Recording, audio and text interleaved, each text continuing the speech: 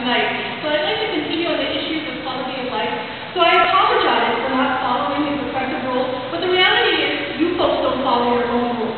This EIS piece of crap, and everybody in this room deserves it.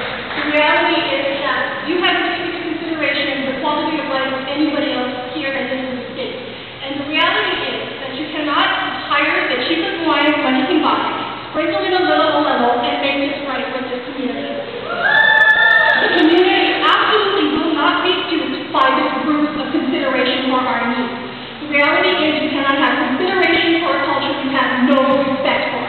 and you have zero respect for us. You have no respect